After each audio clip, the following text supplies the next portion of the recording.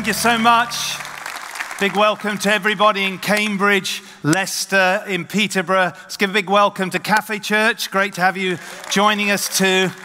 Um, I don't know about you, but I'm really excited about what God's already doing in our midst. We're very much in Alpha season. Isn't it great to know that in Kingsgate, Peterborough, we have around 120 young people on a youth Alpha?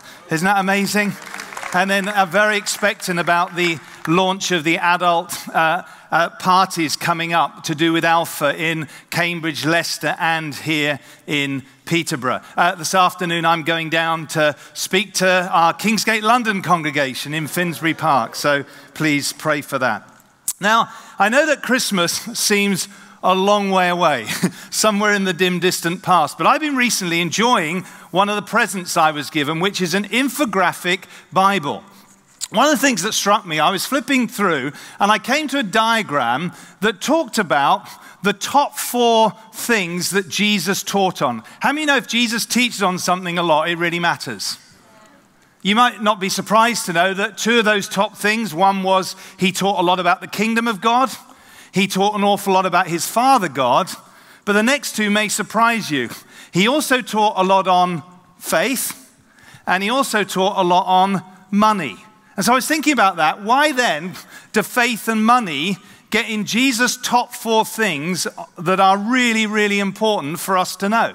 Well, when it comes to faith, by now I hope you begin to realize why faith is so important. Hebrews 11:6 says this, without faith it is impossible to please God, because anyone who comes to God must believe that He exists and that He rewards those who earnestly seek Him. So let's follow this through. Obviously, uh, relationship with our Father is important, but the number one way that we relate to our Father is through faith. Hence, it's really, really important. So, why then does money reach the top four?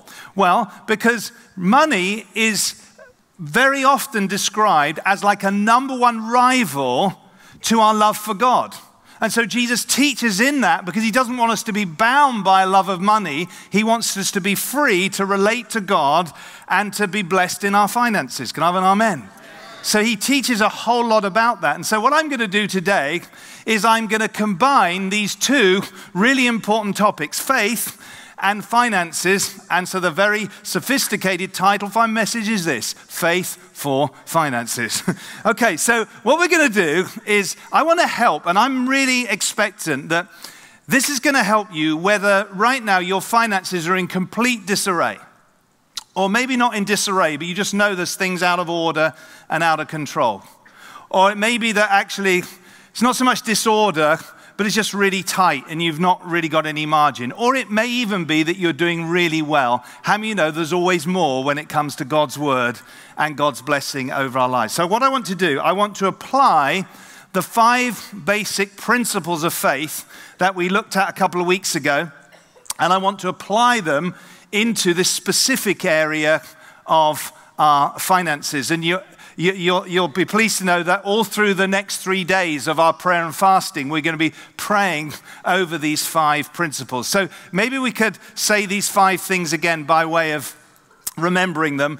Let's say this together ha- hear it, know it, say it, do it, wait for it. The only change that I'm going to do today is because these are not a formula, they're principles, I'm going to flip the order because it's such a practical area of our lives. To make sense of this, the do it has to come before the say it when we're talking about our finances. So, first thing, let's get ready to go. First principle of how to grow in faith is we've got to hear it. Let me remind you faith is not something we work up, faith is something that comes to us. Romans 10 17 says, So then, faith comes by hearing, and hearing by the word of God. Some translations of Romans 10 17 pick up on this whole idea of the context of Romans 10, which is preaching. So they replace the word, uh, the word word there with message. Faith comes by hearing the message. I remember very early in my Christian life, um, I was sitting in a meeting it was a really small meeting because I remember it was in a home. And there was a guy preaching a great message on the exchange of the cross. The idea that Jesus bore a whole bunch of negative stuff in order that we might enjoy the blessing of God. And so he went for things like Jesus became sin that we might be made the righteousness of God. Can you say amen to that? He continued, and then he started broadening out into areas I was less familiar with. So he started saying, Jesus was made a curse that in him we might be blessed. And I'm thinking, okay. And then he said something that rocked my boat. He says, Jesus bore our poverty that we might enjoy his prosperity. And at that moment, I thought, now this, this is, cannot be right. In fact, I remember muttering on the inside saying, that preacher's got a problem. Hope you're not saying that right now. and as soon as I sort of muttered it under my breath, I sensed the, the, still small voice on the inside that I'd begin to uh, discern was the Holy Spirit say, No, Dave, you've got a problem. Me? I've got the problem? And basically, this was my problem. You see, I'd grown up in a secure, stable home and never really worried and never really had massive lack. But we were in a scenario, we lived on a Christian community for a time. My dad was a vicar, and so money was really tight. And so we never had much. And also, I think maybe something to do with the religious background. There was, there was somewhere in there this idea that in certain cases, poverty was a good thing, a virtue. And so, what the Holy Spirit was wanting to put his finger on was that I had a problem. I had a little bit of a poverty mentality. And so, as soon as this guy starts talking about um, prosperity, I'm like, that, that is wrong. And I thought, well, I don't want to be imbalanced in this. Lord, what are you saying? And so how does faith come? Faith comes by hearing. So I thought, well, we've got the Word of God. I've had that little rhema. I want to go and check out the Bible from Genesis to Revelation. I want to find out what does the Bible say about this? If I'm wrong, but I'm reacting to something, what's the biblical truth here? And so, over the next 10 hours, I'm going to show you the results of my studies. No, I'm going to try and summarize it in one little picture because I, this, this really kind of helped me. I felt what came to mind was a picture, and I've shared this before, of like a highway with two ditches. And I felt the Holy Spirit saying that to me and to all God's people, He wants to help us stay out of or get out of a ditch of poverty or a fear of lack. How many, how many want to be out of that ditch?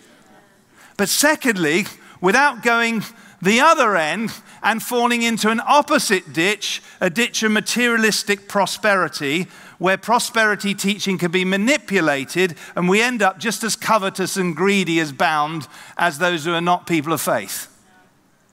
So I felt the Lord saying, it's not a poverty gospel, it's not a materialistic prosperity gospel, but what it is, it's a highway of a provision gospel. You and I can enjoy God's provision for our lives. And the, the scripture that kind of summarized all my studies is, is one of my favorite in the Bible. Um, it's one of my go to scriptures on this. Matthew 6, verse 33. But seek first the kingdom of God and his righteousness, and all these things will be added to you. See, the seek first his kingdom, his righteousness means I'm not going to make money my God. I'm not going to go into materialism. It's going to keep me out of the ditch of materialistic prosperity, but the, all these things will be added to you, frees me from worry and a fear of lack, knowing that I've got a heavenly Father who wants to provide for me, and He wants to provide for you too. Amen? So that, that's kind of 35 years of teaching in one diagram. But, but, seriously, there's something that comes. You see, the, the, the confusion and the unbelief and the mix up in my mind got clear because I heard the word of God. That's the first thing. Faith comes by hearing. Second principle of faith, we've got to hear it. And secondly, what do we want to do? We've got to know it. You see, from hearing the word, we get this inner confidence, this inner assurance in our hearts that we call faith. Let me remind you, Hebrews 11:1 says, faith is confidence in what we hope for and assurance about what we do not see. I mean, we, we, we can't see the God we're talking about right now, who loves us and cares for us, but we have an inner confidence and assurance that He is good and that He's out for our well being and He wants to help us become a blessing to others. How do we know that? Because the Word says, and we get this inner knowing. And when you know that you know that you know that God is good, See, I knew when I first got saved, good, God was good in the spiritual area of my life. I just didn't know He was interested or bothered about any other area. But when you hear the word on it, you realize that God is interested in every area of our lives and He wants to free us and help us in all these areas. So, what I have put together today, and I thought, how can I kind of, in, in, in such a short space of time, give you just a, a kind of like an overview. And so, what I've done is I've put down, and I'm going to read them out to you 12 biblical convictions concerning faithful finances. 12 biblical convictions. What I've done, um, I put them, they're going to be on on the web near, near the talk on where you can download the media messages. There are also those you are tracking on YouVersion. And what I'd love to do is I'd love you to take some time out, preferably this afternoon, and literally go through the, this list that I'm going to read, look up the scriptures, and get faith for yourselves. Because how many know when you get it in here, it changes everything write them down, you know, make them personal. But here's my 12 biblical convictions. You're allowed to say amen or get excited on some of these. Firstly, God is our creator and he created everything good. God the Father is our generous provider. God is the ultimate giver. He gave us his best in Christ. That's worth a big amen. Through Christ, we can be content in every circumstance. God is the owner of everything. We are his stewards. The first fruit and the tithe, that's a tenth, belong to the Lord. As we first bring the tithe into the storehouse, the windows of heavens are opened and the devourer is rebuked. As New Testament believers, we're called to live grateful lives imitating the generosity of Jesus. As we give generously, God is glorified, lives are transformed, and we get resupplied. Generous giving helps break the grip of materialism. We will be eternally rewarded for what we've invested. Here's the final one. You're going to love this. This summarizes it all. God wants to bless us to make us a blessing. Now, these 12 convictions, they're, they're true from the Word of God, and, uh, but God wants them to be true for you. Faith comes by hearing. Faith comes as we know it on the inside. And I came to the point where I was not only utterly convinced that God wanted to provide for me, get me out of that poverty ditch, but he wanted to do more than that. He wanted to help me steward all that he'd given me, could it all come from him? And he wanted me not just to look to my needs, but to somehow walk in a way that I had enough to, to give generously. These are my three convictions live contentedly, steward wisely, and give generously. I hope that's a great foundation. But if we're going to see the blessed to be a blessing life, the generous life, the free life, actually become reality, this kind of faith is something that needs to be translated to action. So we've got to hear it, we've got to know it, but then thirdly, we've got to do it. There's things we need to do.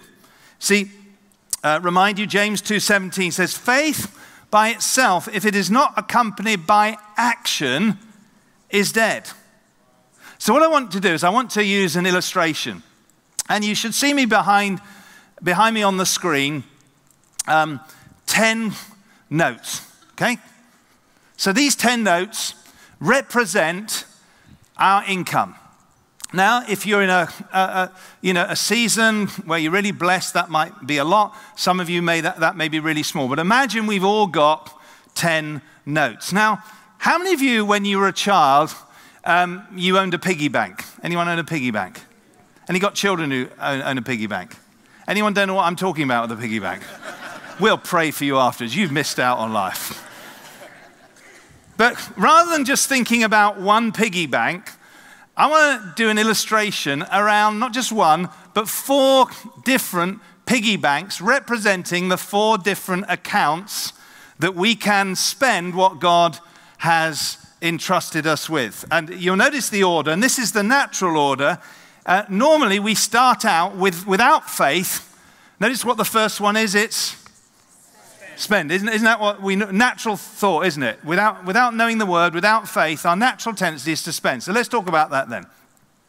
Here's how we come in if you're not yet a Christian or if we're in the early stage of our Christian life. There's a tendency, because money has such a pull, it's a rival to God, our natural tendency is to think, it's my money. no, the Bible says it's God's money, but that's our thought? We think it's my money, therefore it's up to me what I do. And the natural pull of our flesh and the natural bombardment of the culture. Would you agree? Is that the more stuff you have, the more toys you have, the happier you are. And, uh, and of course, it's based on a fundamental lie that, you know, stuff is good, but stuff doesn't satisfy us. Only God and his walking his way can ultimately satisfy us. But anyway, yeah, amen. But what we do is we start spending. And the problem is, is because of our needs and our wants all mixed up and the pull of the culture, we start basically spending the lot. 1, 2, 3, 4, 5, 6, 7, 8, 9, 10. But how do you know that sometimes 10 isn't enough? So, what do we do? We go to the bank and we start borrowing some more little red ones. How many know red ones not good? What do they represent? Debt. Now, uh, temporarily, it may help you. It may help you get the extra that you think you need, etc. It may help you in a crisis. The problem with the, the red ones is that they don't belong to you. You're probably going to have to pay them back at interest. And, and if you're not careful, you can just get further and further and further in debt. How many know? I'm not just talking theoretically, this is a real issue. When we were doing the well-being series, we found out that, you know, culturally, in, in, in the nation, people's number one thing that's causing them stress and pressure is actually in the area of financial lack of peace and well being. So, this is really important. How many would like to do things a different way? I mean, like a restart. You say, well, that's where I'm at. Or, you know, that's somewhere where I'm at. I, I don't want to live that way. God has a better plan for yours and my life. He wants us to operate by faith, not just by the natural way of doing things. So, so what's the, the, the, the better way then? Well, the better way is to step back and actually say that God has a different order so rather than spending being first, actually we need to change the order and we see that tithing in God's mind comes first. And so rather than a spend, probably not have any money for saving and hardly ever likely to tithe or give to charity. Now, if we change the order, first things first, we have a different order. Can we read this order? Tithe, save, spend, and give. If you forget everything else about this message, if you have that kind of order, this is going to massively help you because God knows better than we do. That deserved an amen from Cambridge and Leicester and Peterborough and Catholic Church. God knows better than we do. So here's, here's God's order. The first thing we do is by faith, because it is an act of faith. If it's the first time you've done it, is to say, Lord, I, I, I believe, I, I, I trust you. Your word says you're first, so here goes. I'm going to do what your word says. I'm going to give you the first and the best, 10% of everything that comes in. I'm going to tithe. And God knows that it can be tough. Hence, in Malachi 3 says we've got to test him in this area. And why do we do that? Well, First and foremost, we do it because God is God and it's a way of worshiping and knowledge that everything comes from Him. But also, and I said this last time in the well being thing, thing, tithing is actually for your good as well as for God's glory. Because here's what happens, and this is the faith part faith says that when I tithe, the 90% get blessed. Amen? Something different. And here, here, here's, here's the test Am I prepared? To believe God's word, because that's the only evidence I have when I start out, that I'm going to be better off with a blessed 90% with God helping me than I'm trying to make it my way with my 100%. And that's the, that's the, that's the starting point. It's a beautiful starting point when it comes to practically putting to action our faith for finances. That's the first priority. But that's not the end story. In fact, that's just the beginning. So, this is where we need to get a holistic view of finances. Some people just teach on tithing and just do that. And then they wonder why not everything's working because God is as interested in what we do with the whole 100% as he is just what we do with the 10%. Because who, who owns the lot? He does, and He expects us to be stewards of everything. So it really matters then that we get God's wisdom and follow God's word and obey just natural principles, to be honest, that will ha- help you actually be blessed to be a blessing. So then, here's the, the, the, next priority after tithing. Even if you can only do a little, and this may be, I don't know, I'm going to do this, but even a little, I would strongly encourage you just to put a little bit aside to start saving. Why do you need to save? Well, if you, particularly if you've been in debt, you need to start being, being able to deal with that indebted thing. How many know that sometimes you don't intentionally get in debt? Things happen. Have you noticed stuff happens? I, am looking forward to the new heavens and the new earth. Anyone else? Where everything's fixed, nothing breaks, nothing unexpected happens, but we're not in that yet, are we? We're in this world and stuff happens, stuff breaks, emergencies come, crises come. If we've not even got a tiny bit of savings, a tiny bit of an emergency fund, unintentionally we're going to go into debt. And if we're not careful, we can get further into debt. So even just start with a little bit to put away some savings in an emergency fund. And, and this, here's what happens you must do these simultaneously. Because what starts happening, as you start tithing, God starts blessing you. As you start saving, you start getting um, some, some buffer and then here's the third area we need to attend to, which is our spending. Now, the reality is, particularly if you're starting out on this, you think, well, surely then all the rest has got to go into that spending bucket. So let's put all the rest in, in, in everything else goes into spending. It's all gone. Now, anything wrong with that? Well, how many agree? It's better to be out of debt, tithing with a bit of a buffer, and, and, and your needs being met, how many think that's way better than the first diagram we showed you? So we're, we're, on, we're on a good journey. We're making progress here. But can I tell you, this is not God's ultimate for us as God's people. There is more beyond that. Because the problem is, we can be like that, stable, but we have absolutely no margin for what? Well, maybe we need to save a bit more. What about giving? We've got nothing in the giving pot and what about, say, for future things? You know, you've got a special occasion coming in the future. You, you can't do that because literally everything's taken. So, can I encourage you a few things? First is obviously watch impulse spending. You know, if you can go on a course or get some help to help get a real systematic plan to get your sp- spending in order. I just thought about something as I was praying the week. I thought, why not just go through your bank statement and under every item, just put a W or an N. The N stands for needs, the W stands for wants. And be pretty brutal with yourself. Coffee at Starbucks three times a day.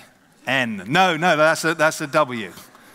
Subscription to, no, no, that, that may be nice to have it. There's nothing wrong with having it, but if you can't afford it, so, so be radical. And just see if you just can't start getting some stuff that while you're in the current season, you've only got that amount, that your income may increase, but while you're in that season, be radical and make a distinction and draw a line so that, and here's the beauty of where we're heading, you can get some margin. Everybody say margin. It's a beautiful thing. You know, we've not always had margin in our lives. We've had to work hard on some of these principles where you can get some margin. So, so what, what do you do with the margin? Well, let, us when you start doing this, you, you can get some out. We can start using some extra. Now, it could go in one or two ways. You could do a little bit more into saving, but also it means that we start getting into the blessed to be a blessing where we can actually start putting money into giving. You say, well, why, why, would I want to do that? I've already tithed. Can I say that in the New Testament, we live in a better covenant with better promises. I believe that we should be freed and blessed to be a blessing, not to just give the tithe, but to give more than the tithe, to give generously, to fund the gospel, to meet the needs of the poor. We, and now here's the thing we don't give to get. Some people teach this, they say you give to get. Put in a fiver to this ministry, and by sundown, you know, you're going to have 500 quid. How many think that's a bit But The promise is if we give with right motives, I love you, Lord. I want to I, to bless you. And, and I, I love something more important than an extra bit of stuff. I love people. And if what I can do can help people's lives now and fund the gospel so that they can be there for eternity, that's an investment worth doing. Amen. That's, you know, and I'm talking to a generous church. We do that every year. Stunningly, people give, some of us monthly. And, you know, many of you just in, that, in our special offer. It's incredible what we're doing. We're investing ahead so that in eternity, we're not going to say, oh, I, you know, I, I slightly ratcheted down on the, on, on the car model that, that, that, I got. And, and, that meant that gave me some margin so I could give so that somebody could get eternally saved. Can I eternity? We won't be thinking, I wish I had a better car. Isn't that right? Get an eternal perspective. Nothing wrong with nice cars, but it's about balance. It's about priorities here. And here's the thing just like there's a blessing on tithing, and there's a natural blessing of order when we start saving. Here's what happens when we start giving there are tons of promises all through the New Testament. And while I said it again, we don't give to get, there are promises that when we give, not only is God glorified and other people's lives transformed, but we get resupplied. Listen to this. This is Paul talking in one of his key New Testament letters, 2 Corinthians 9 and verse 6. Remember this, this is in the context of giving. Whoever sows sparingly will also reap sparingly. Whoever sows generously will also reap generously. Each of you should give what you've decided in your heart to give, not reluctantly or under compulsion, for God loves a cheerful giver. And here's the promise and God is able to bless you what? Abundantly, so that in all things, at all times, having all that you need, you will abound in every good work. Blessed to be a blessing. And, and if we didn't get it, verse 11 makes it clear. You'll be made enriched in every way. If we stop there, we might end up in a materialistic prosperity ditch. But he says, What's the purpose of being enriched in every way? So that you can be generous on every occasion. And can I say, getting to the point where you have margin, where your finances in order, where you can give both planned giving into special offerings, compassion children, helping people in need, I want to tell you, it gets real, real fun. Because you know what Jesus teaches? It's more blessed to give than it is to receive. And when we're in kingdom order like this, when we, when we learn to do it, this kind of order, we, we first tithe, we, we, we start saving, we rein in our spending, and we start giving, uh, the, the, the, promise that, uh, of God to, to, to, uh, to Abraham, right back in Genesis 12, we, you and I, will get to a point where we can say, We've been blessed to be a blessing. Amen. And I share that picture because my faith is that if you'll start doing this message, I've got a couple more points to whiz through, but I want to tell you by the end of this year, and if we're still doing this in 10 years' time, I want to tell you all across this house and many, many more people who've joined us, we're going to live in a level of blessing. We're going to be able to fund the gospel like never before. Windows of heaven are going to open like never before. The devourer is going to be rebuked. Amen. Business is going to be blessed. Because God is a good God. Amen.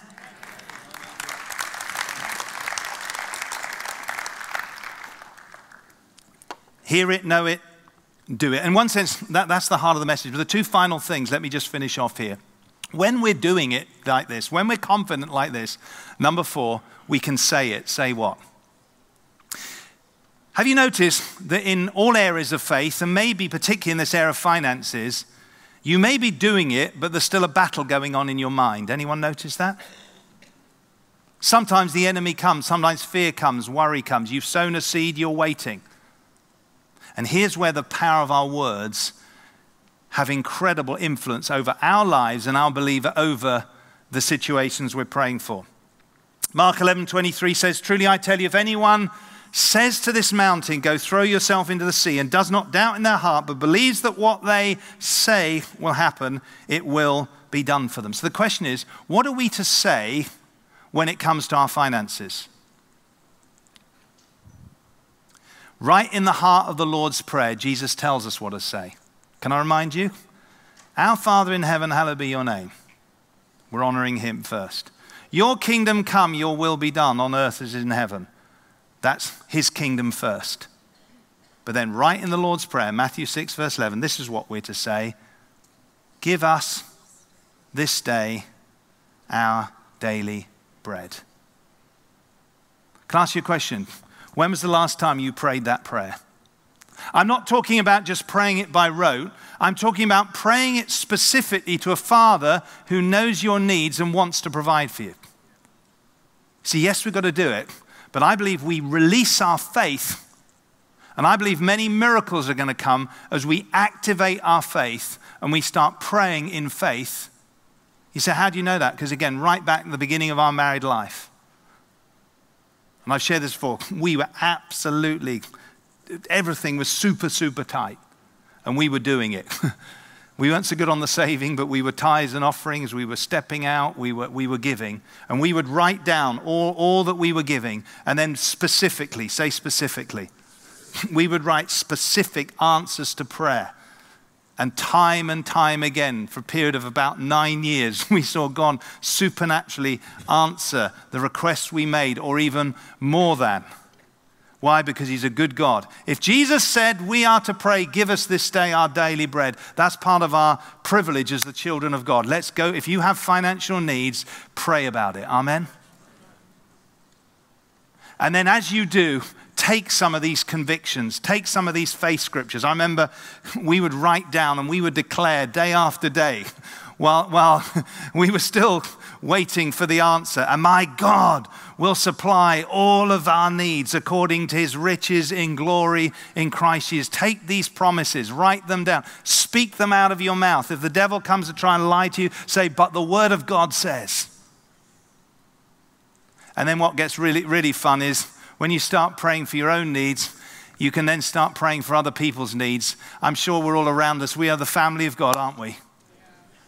And he's not just my father, he's our father. We love to pray for other people's needs. I know Carol particularly just is regularly, she's got a list of people she's praying for, loves to see other people's needs get met because God is a generous and a loving Heavenly Father. Amen? So we've got to say, yeah, we've got to say it. And then finally, we've got to wait for it. Hebrews 6, verse 12 said that it's through faith and patience that we wait for the promises of God, that we inherit the promises of God. This is especially relevant when it comes to finances. Some of you may have heard, and maybe there's people around, maybe for yourself, when somebody starts out maybe tithing, sometimes they get an, almost an immediate miracle. How many want more immediate miracles all around this place? We want more.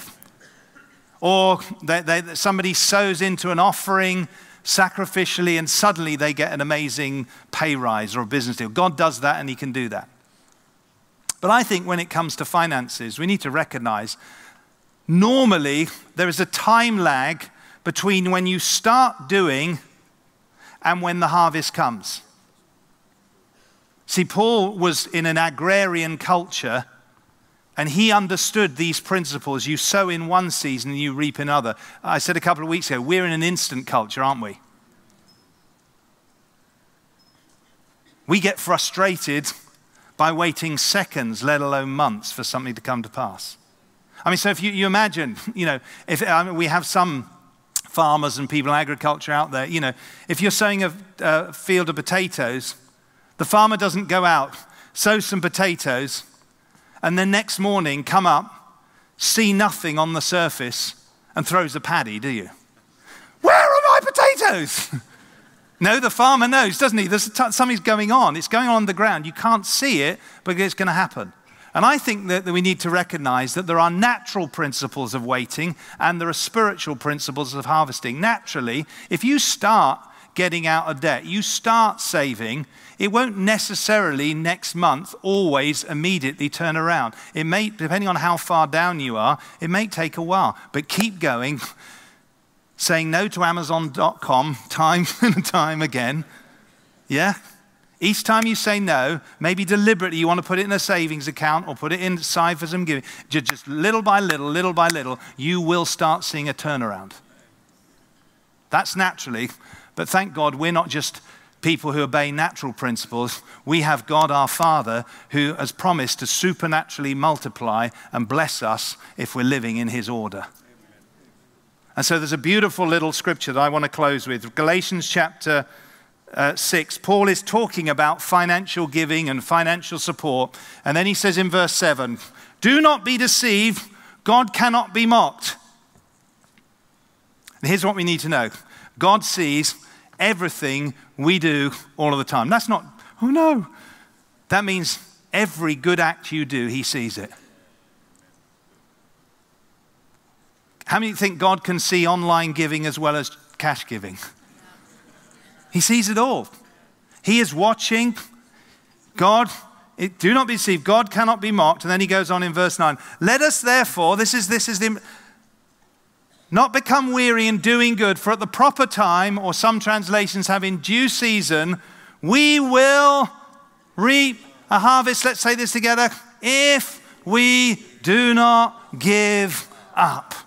God is watching over his word to perform it. Here's my heart and my faith for all of us. If we will take these principles, start doing them, I believe we're going to start seeing some very quick turnarounds. In many cases, we're going to start seeing some amazing turnaround by the end of this year. But I want to almost sow this as faith for a decade. How blessed could we be to be a blessing in 10 years' time? Amen. Let's pray together. Father, I want to thank you for your word to us. I thank you that you are a good, good Father. You're our generous provider. Everything we have comes from you. So, Lord, we ask you to help us become better stewards, to become free from poverty and materialism, walk in your provision, and learn to be generous and bless many other people. May many other people's lives be transformed for eternity as a result of us being doers of the word and not hearers only. In Jesus' name, amen. Amen.